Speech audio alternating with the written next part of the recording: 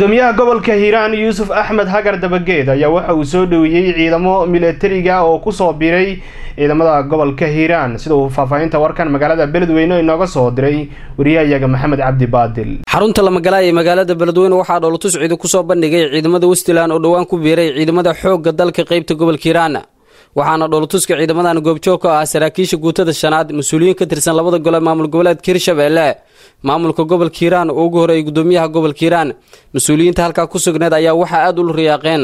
Dhoolatuska ciidamadani soo bandhigeen walow ciidamada wejiyadooda ay ka muuqatay. Farxad oo ku aadan in ay ka mid noqdaan ciidamada qaranka ee qalabka sida. In la dhiirigeliyo ciidamada xoogga dalka soomaaliyeed.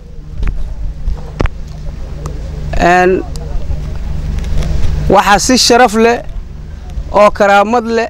Ugu horeyntii waxaa goobta ka hadlay taliyaha guutada shanaad ee qaybta labaatan iyo toddobaad ciidamada gobolka hiiraan korneel faarax kuushin wuxuuna u mahad celiyey dhammaan dadkii ka soo qayb qaatay in ciidamadani ay ka mid noqdaan ciidamada xoogga dalka soomaaliya.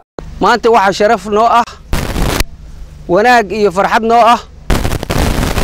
Ciidamo ku soo biiray xogaysan noo yimid muddo badan naga maqnaay laakiin caloosha uurka aan iska ogeyno cadowga la wada dagaalamaynay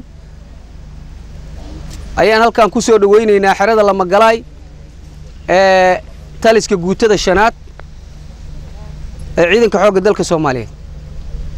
Waxaan salaan gaara idiinka wadaa taliyaha xoogga dalka soomaaliyeed iyo abaanduulaha xoogga dalka.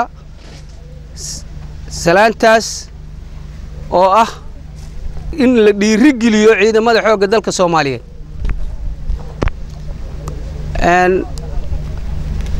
waxaa si sharaf leh oo karaamad leh arrintan noola abaabulay oo ka shaqeeyey oo mahadsan saraakiil ciidankan wadata xildhibaano ka tirsan hirshabeelle wasiirre ka tirsan maamulka gobolka hiiraan oo u horreeyo guddoomiyaha gobolka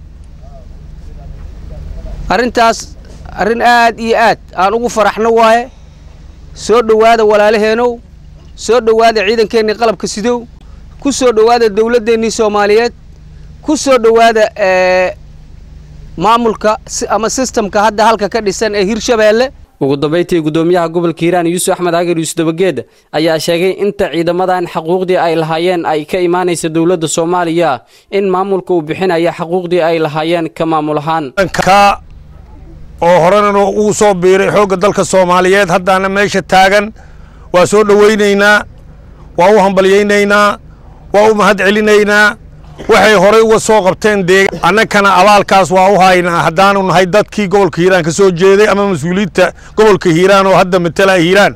Haddaan nahay abaalkaas waa idii haynaa.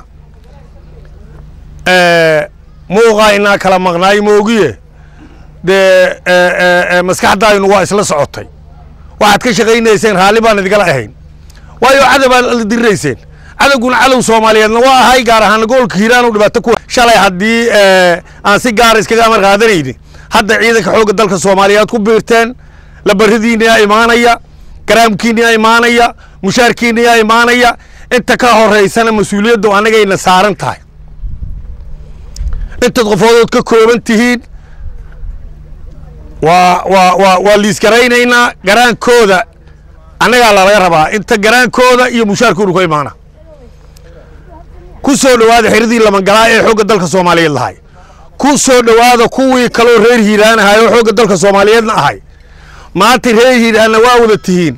Xoogga dalka soomaaliyeedna waa wada tihiin. Taliyo unug ilaa taliyo guuto waa kala amar qaadanaysiin haddii alla idmo. Sida kuwaan u dhisan yihiin ayaa laydii dhisi doonaa haddii alla idmo. Maxamed cabdi baadil soomaali cable t v magaalada beledweyne